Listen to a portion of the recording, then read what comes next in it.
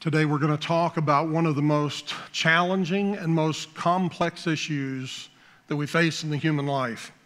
It's the topic of change. And looking back on our years of ministry, I'd have to say that I've seen some ma- amazing changes in the lives of people. And we rejoice in that. We celebrate that. We're so thankful. Uh, when it comes to leaving the darkness and coming into the light, uh, I would say I've gotten to see some changes in the way of deliverance and healing and reconciliation. But I would also have to take it a step further and say, unfortunately, I've seen my share of disappointments uh, in this regard as well. There are some who not only resisted change, but who decided to return in their lifestyle to some old destructive habits, and uh, they chose that over proceeding in a positive direction in their life. Sometimes I think that people uh, choose to remain in the darkness rather than walk in the light. It's, it's easier that way. That's what they're used to, it's what they've grown accustomed to. But there's no substitute for the joy that comes from seeing somebody make those personal spiritual decisions that will uh, revolutionize their life, that will lead to true uh, inside out transformation. I would also uh, want to point out foundationally as we get started today that change always begins with a decision. Change always begins with a decision. In Luke chapter 15, uh, the Bible tells us that even the angels in heaven rejoice when one sinner repents. Okay, that has to do with change, the decision to change, because repentance carries with it the idea that I'm not only sorry for my sin, but I'm sorry enough to change. That kind of transformation is something that money cannot buy, and it is a change that people cannot legislate. It is a change that people cannot mandate for others. It is something that only we can decide for ourselves.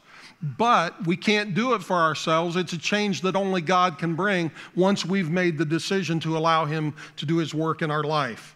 But it's up to all of us to decide whether or not we're going to allow God to begin that transformation that moves us from darkness to light. It's important to notice that God does not force himself upon, himself upon us.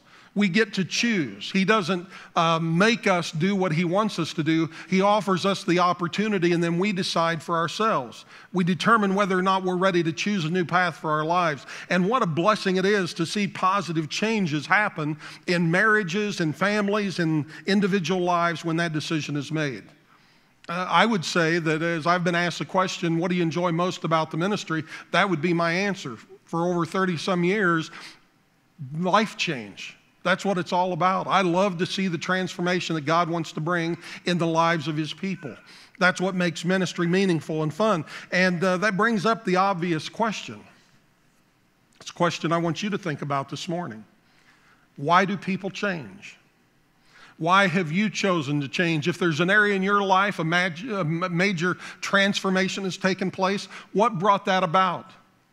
What caused you to make that transformation? What made that decision happen? What is the catalyst for coming out of the darkness and into the light that's found only in Jesus Christ? What kind of uh, you know, events or circumstances, what does it take for real transformation like that to happen in your spiritual life? I would suggest to you that deep, lasting change is often connected to a defining moment in our lives. It's often connected to a defining moment. Typically, there's that defining moment when a person determines that something has to change, and that's when they choose a new path for their life. This morning, I want you to hear a very familiar story. It's a story that probably most of you have heard before. But I want you to try to step back and uh, not jump to the end of the story, not jump to the conclusion, but just try to hear this story like you're hearing it for the very first time today. It's the story of a father and a son, and it's about a defining moment that changed everything. And it's in Luke chapter 15. I'm going to read from the message. Then he said, There was once a man who had two sons. This is Jesus teaching. The younger said to his father, Father, I want right now what's coming to me. So the father divided the property between them. It wasn't long before the younger son packed his bags and left for a distant country. There, undisciplined and dissipated, he wasted everything he had. Afterward, he uh, had gone through all his money. There was a bad famine all through the country, and he began to hurt. He signed on with a citizen who assigned him to his fields to slop the pigs. He was so hungry he would have eaten the corn cobs and the pig slop but no one gave him any. That brought him to his senses. He said, All those farmhands working back at my father's, they sit down to three meals a day, and here I am starving to death. I'm going back to my father and I'll say to him, Father, I've sinned against God. I've sinned before you. I don't deserve to be called your son. Take me on as a hired hand. He got right up and went home to his father. When he was still a long way off, his father saw him. His heart pounding, he ran out and embraced him and kissed him. The son started his speech Father, I've sinned against God. I've sinned before you. I don't deserve to be called your son ever again. But the father wasn't listening. He was calling to his servants, Quick, bring a clean set of clothes and dress him. Put the family ring on his finger and sandals on his feet. Then get a grain fed heifer and roast it. We're going to feast. My son is here, given up for a dead and now alive. We're going to have a wonderful time. He was given up for lost, now is found, and they began to have a wonderful time together. I absolutely love that story. It's one of my favorites in the New Testament because it is packed with such emotion and so many amazing spiritual principles uh, that apply to all of our lives, really. The prodigal son took off with his father's money, blew it. He ended up friendless and penniless, living in a pig pen. And, but then in Luke 15, 17, there's a great line. It jumps off the page at me every time I read it. It says, Then he came to his senses. He came to his senses. That is the defining moment that I was talking about earlier. That's, uh, you know, that moment after reflecting on the condition of his life, he begins to ask himself some questions. Where's my life headed? Do You ever ask yourself that? Where's my life headed? Is this really what I want to do? Is this really who I want to be? He asked some questions we all need to ask and, and we need to answer. Is the road that I'm traveling now? Is the road that I'm traveling this day? Is it taking me to where I want to be in the future? I mean, could he anticipate his future being brighter if he stayed on the road that led him to the pig pen? I mean, we all need to think about that. Can our future be any brighter if we stay on the road that has led us to the mess we're in today? He reflected on his life. He admitted he'd made a mess. He knew something had to give. And he was beginning to realize that what he'd been doing wasn't working. And so he began thinking about a different life. It would be a better life for him. In this case, uh, it was a life that he'd already had. It was the life that he'd walked away from. He had left this life. He began reflecting on his past and thinking about three square meals a day and having a roof over his head. And I'm sure he thought about how much he missed his family.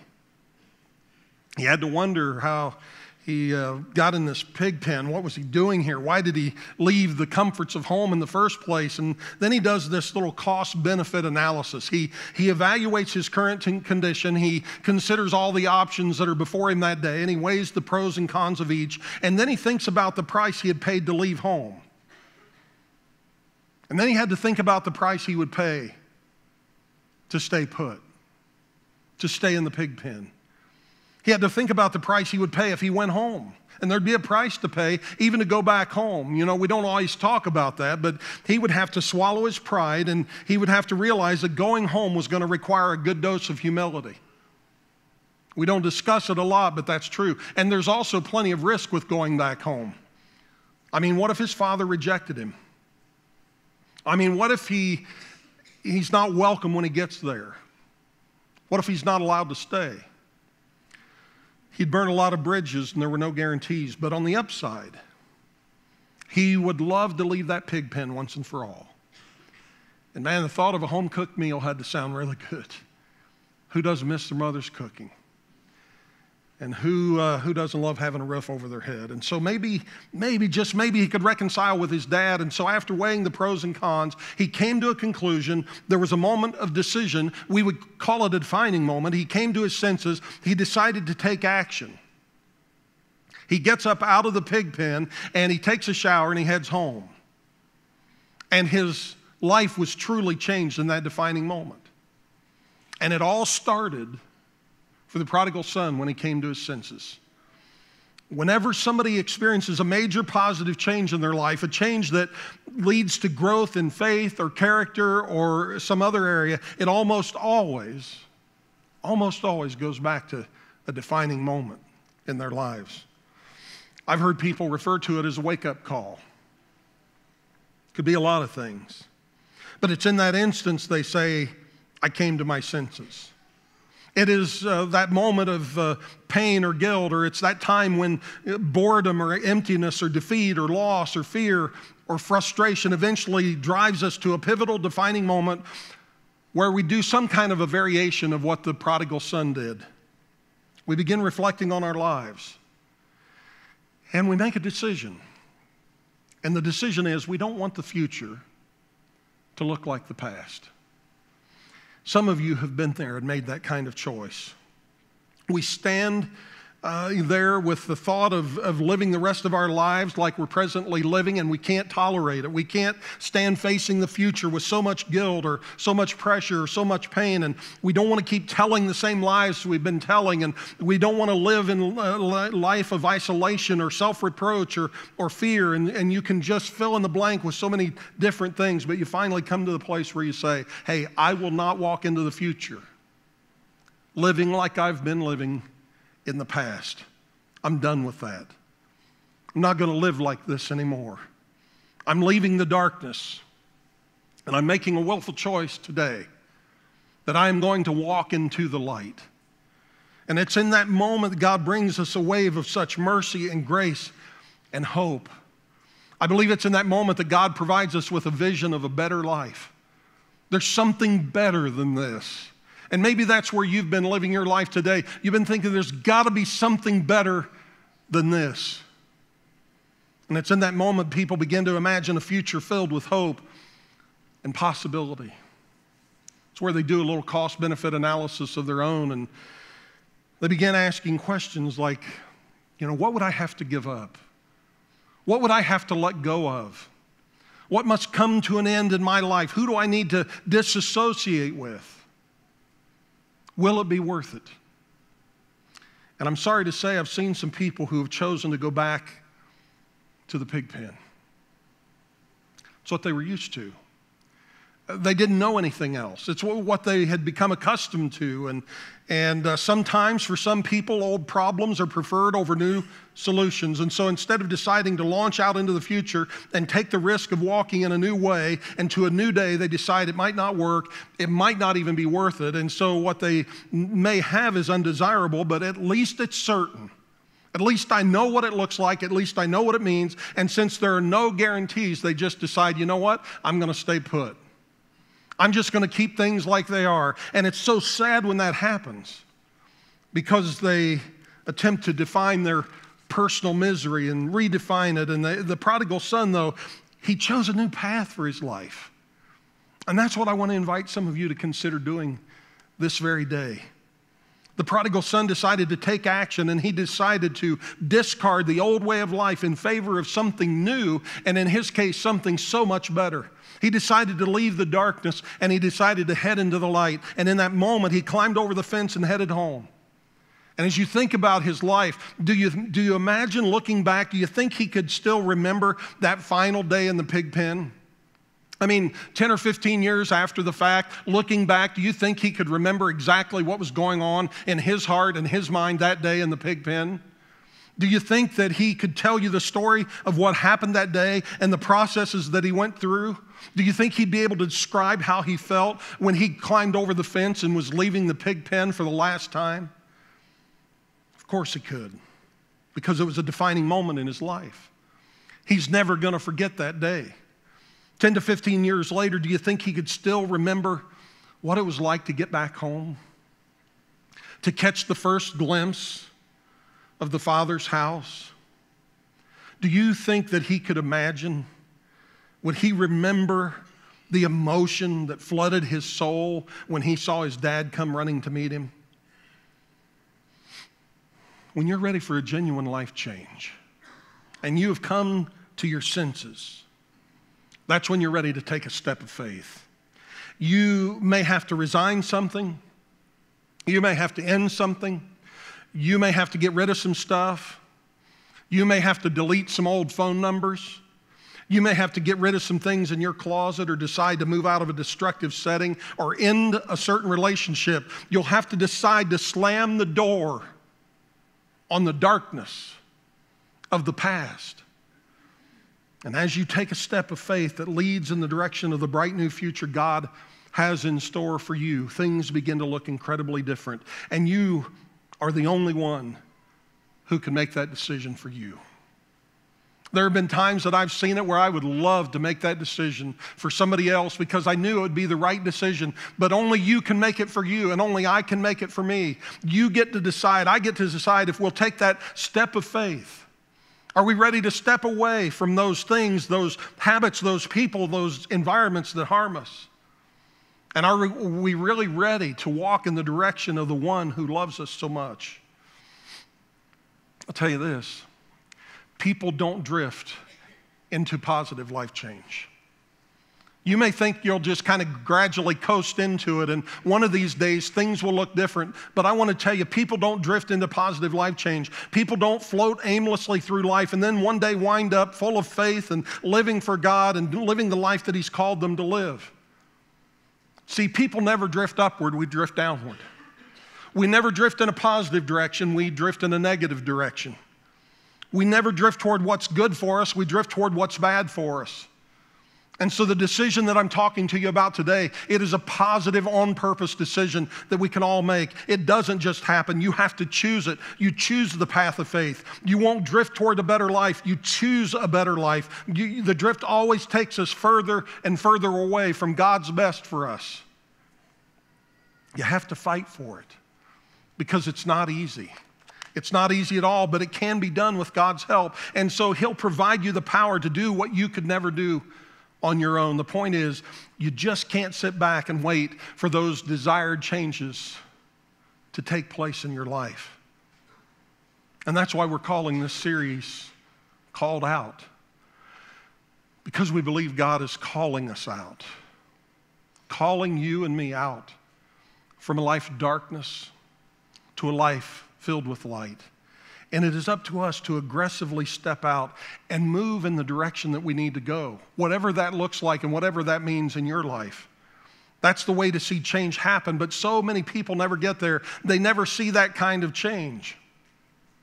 And the reason is, the reason why that doesn't happen is because change is never easy. I mean, that's just the truth. It's not always easy, it's not for the faint of heart. In fact, if we're honest, change can be downright difficult.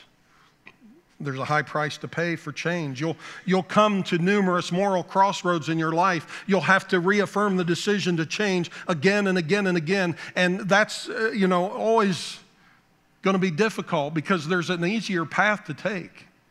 It's called the path of least resistance.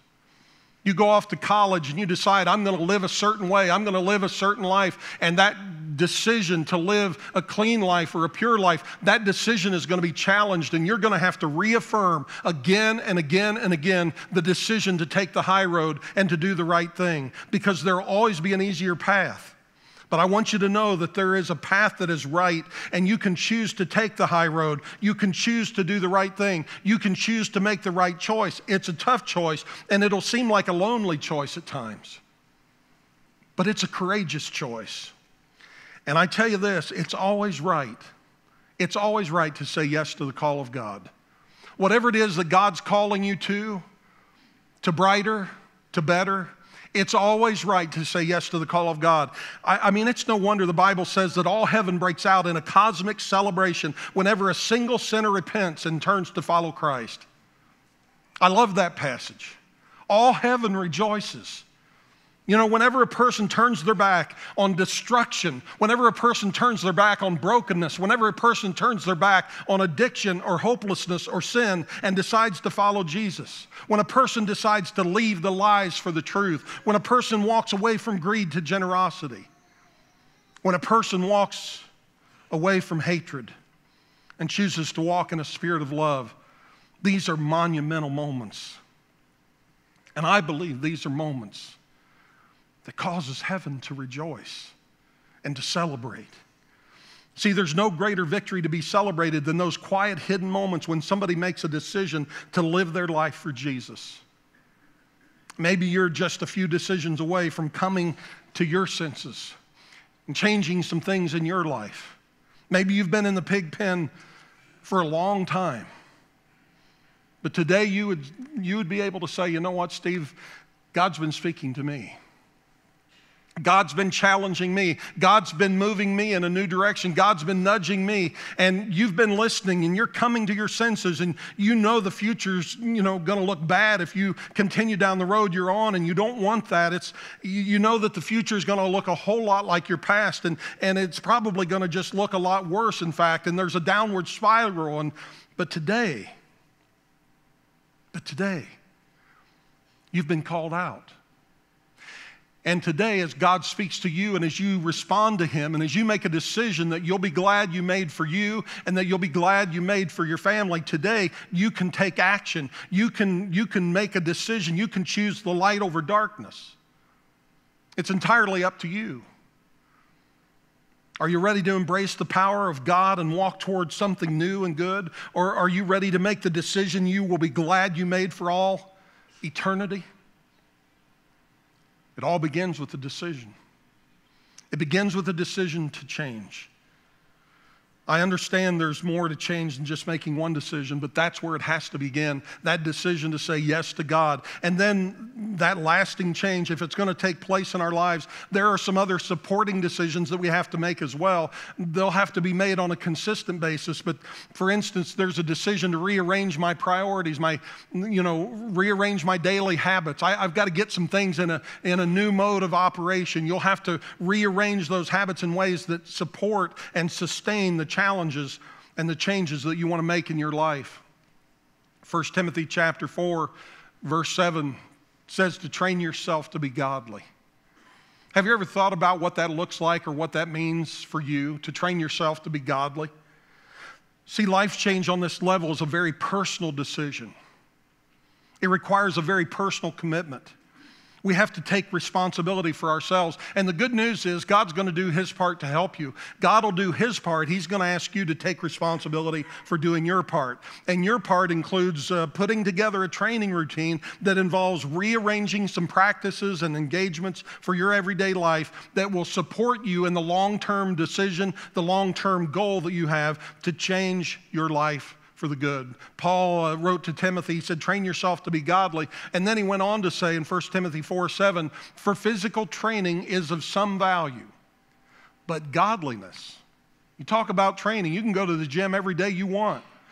That's of some value. But godliness has value for all things, holding promise for both the present life and the life to come.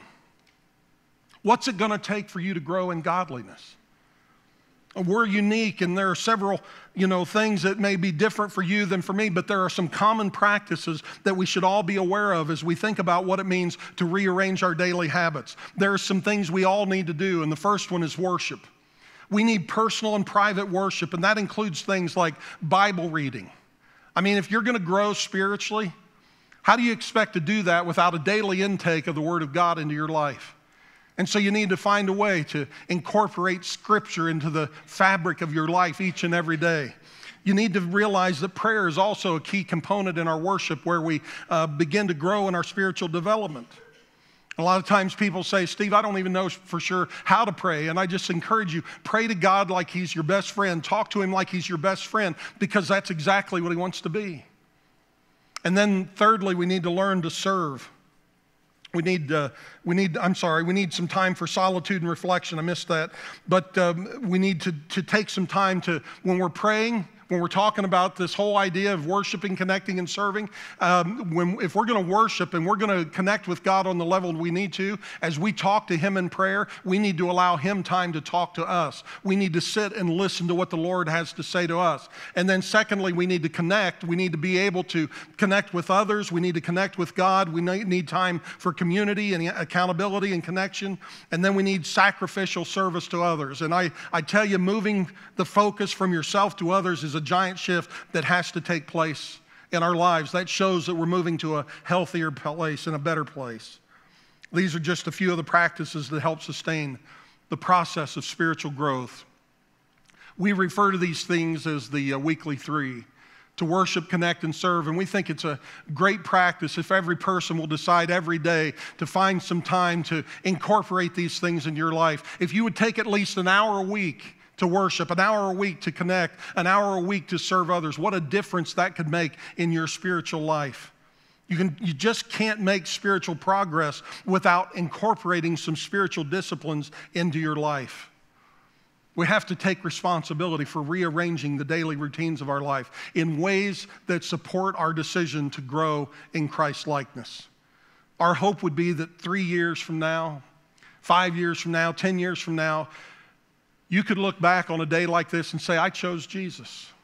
And look what God has done. I decided to grow spiritually. I decided to grow in character. I decided to grow in morality. I decided to grow in integrity. I rearranged some of my routines and practices to support and reinforce my decision. And now look how I have grown. Look at the person that I have become.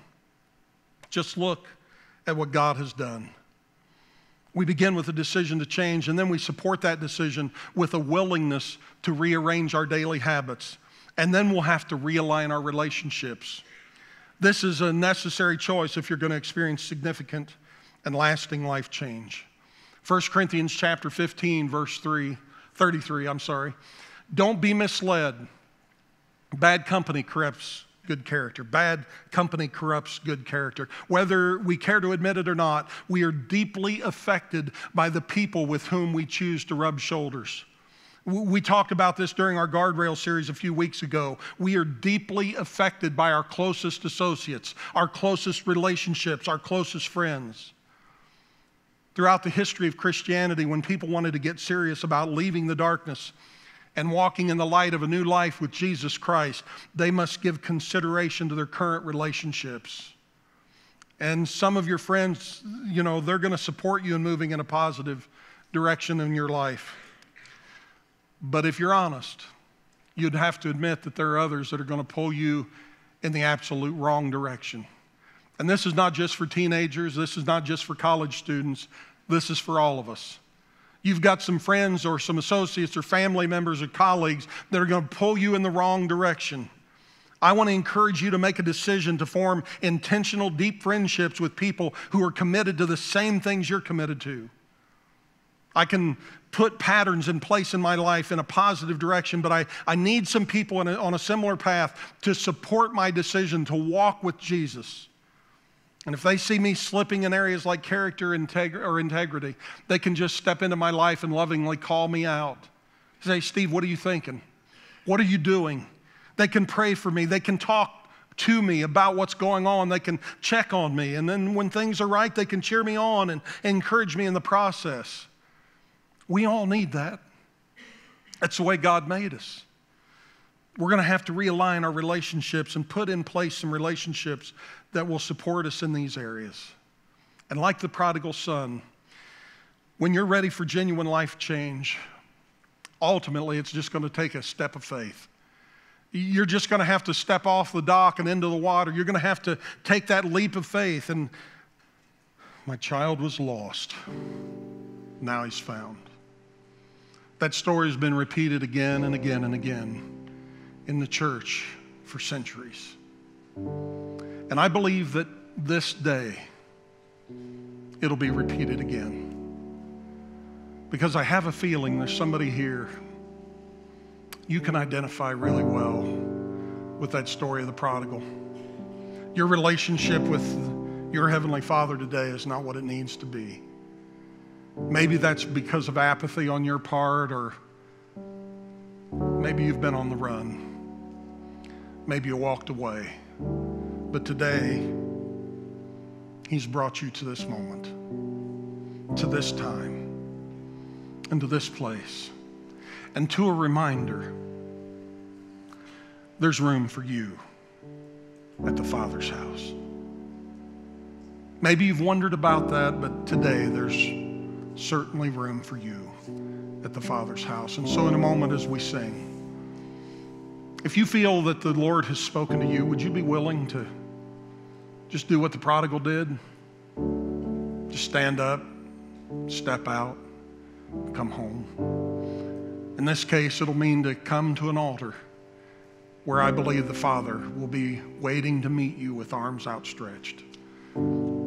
As you come to Him, knowing that He loves you with an unconditional love. I want to invite you to have the courage to do what you know you need to do. If the Lord has spoken to you this morning, would you bow with me, please, as we pray? Father, I thank you for those amazing moments of growth that you've brought into the lives of so many here today. It all began with a moment, a moment like this, a defining moment where courageous step of faith was required. Somebody stood up, stepped out, made a decision. A decision they're glad they made today. I pray for many this morning that may be ready to step across the line and make a decision to follow Christ this very hour. Ready to turn their back on the old way of life and to choose a new path and a new direction, a new destination for their future. We realize that nobody drifts into a decision like this. Intentionality is required. And so today I pray for courage to make the right choice, to make an intelligent, spiritual, calculated decision that will impact their life from this day forward. Thank you for the changes and the power that the resurrected Christ wants to make in all of our lives. And thank you for calling us all from darkness to light. In Jesus' name, amen.